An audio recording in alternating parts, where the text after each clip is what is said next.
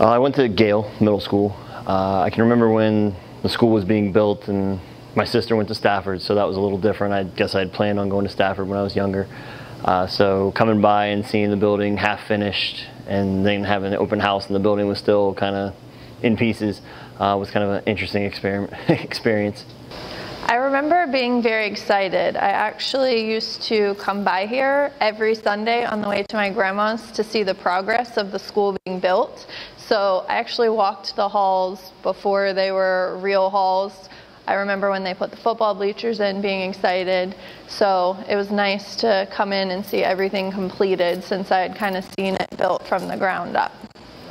I remember open house when we came because it was obviously a brand new school. I was one of the ones that came from North Stafford High School. And when they came together here, it wasn't an us versus them. They just, the camaraderie started almost immediately.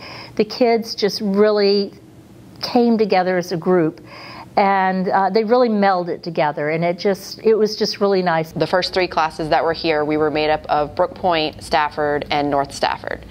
And so i came from north and we were the biggest group to come. And the team thing when i first come here was my big thing.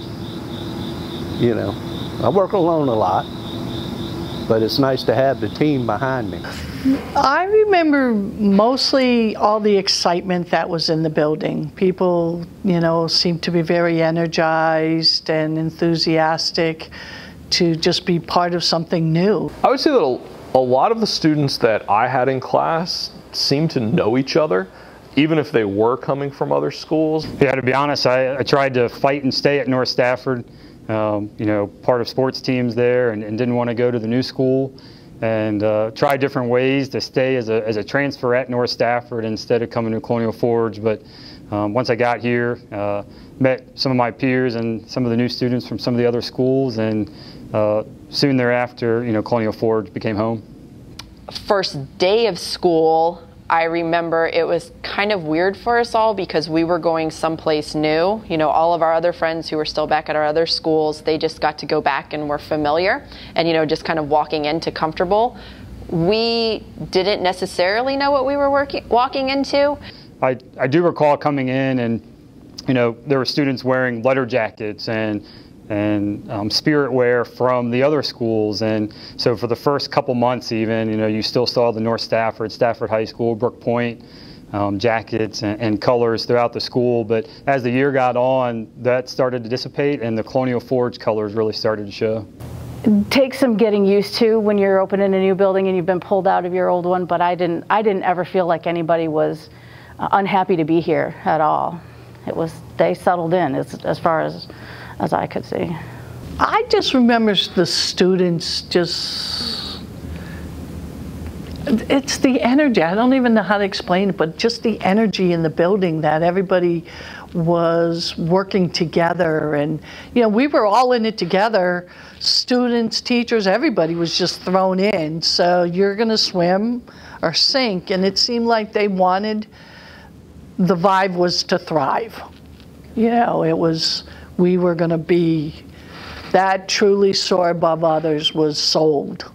And um, the students bought into it. And I think teachers bought into it too. It would be much different if you were a new teacher going to a school where the teachers have been like me, have been there for 20 years. I think you felt a lot more comfortable coming into a brand new place where everyone was kind of in the same boat together. Um, that was a really unique experience nice. I remember um, in the pre-planning week when we were doing those team building things, I saw Michelle Darley with a, a, sweatshirt on that had the little "I love you" hand shape on it, and that made my heart feel good. That was somebody else. That was a, a, a boost in my career because. I was teaching for a long time, and it kind of just gave me a new sense of energy all over again. But that's I remember all the energy that everybody seemed to have. So, my brother and I, you know, I drove him because he was a freshman that year.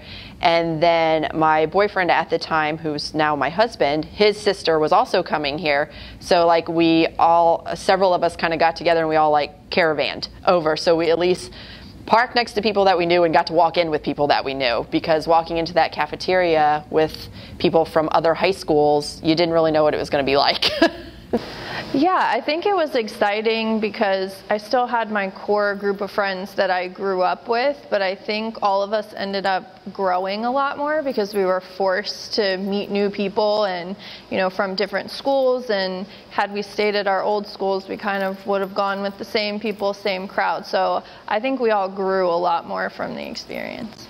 I think Dr. Martin kind of set that tone that we were going to be a better school and and I think the students fed into that and came together as one. I saw a Colonial Forge group come together that year. I thought that the bonding was incredible.